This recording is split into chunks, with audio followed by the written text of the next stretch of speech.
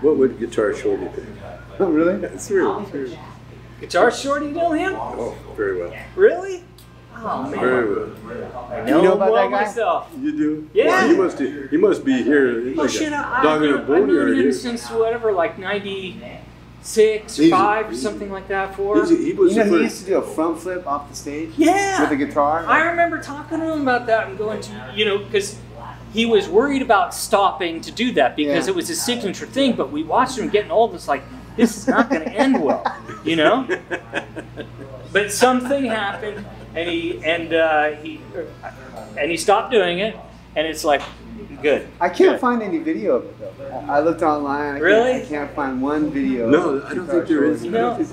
Think I, but I remember him doing it at a Yeah. Christmas party we had. And you saw it? Like, Yeah, we had all the employees down like, at this Mexican shit." place there, and Yeah. uh, and uh, guitars. This must have been like 93, 94. Yeah. And and Shorty was playing there, and he did that thing, got up on the amp, and he flips over, and it's like, what the hell is this guy doing? Oh my god.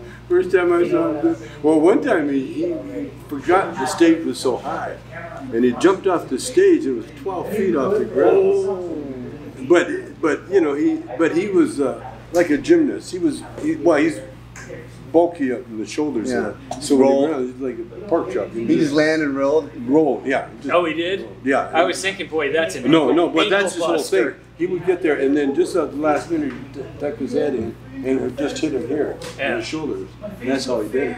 Then he'd jump on his feet. Oh, so this was a this was a this was a shtick of his, Yeah. but the Well, you twelve know- feet was like 12 feet was a big.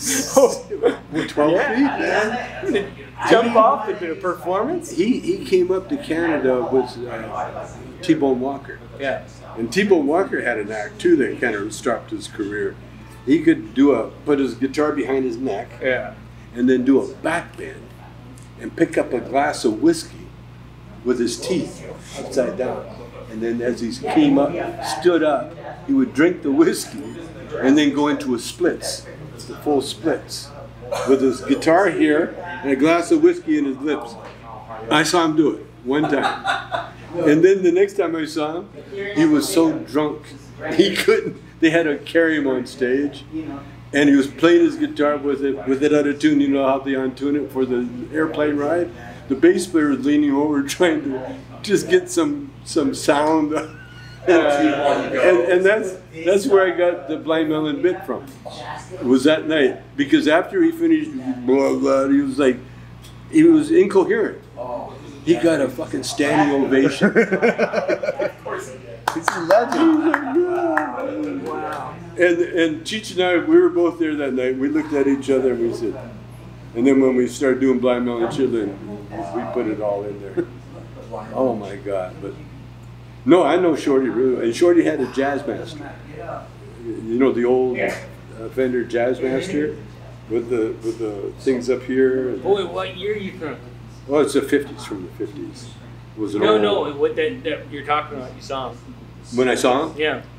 63, 62, way back. Yeah. Because what, what we did, let's see, right after that, right after Shorty and, and, uh, and all those, yeah, they, there was a little uh, club in Chinatown that they all played at.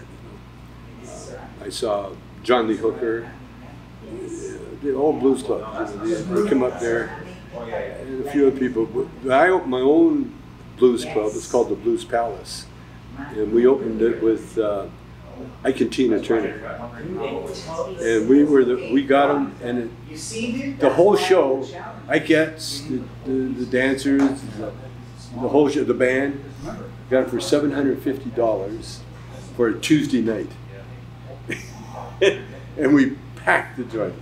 It was the first time they were up in, in Vancouver, and then they came back almost every month and just, you know, the other promoters they saw what what we had, but we, we brought them up first. Well, we, we introduced the blues to Vancouver.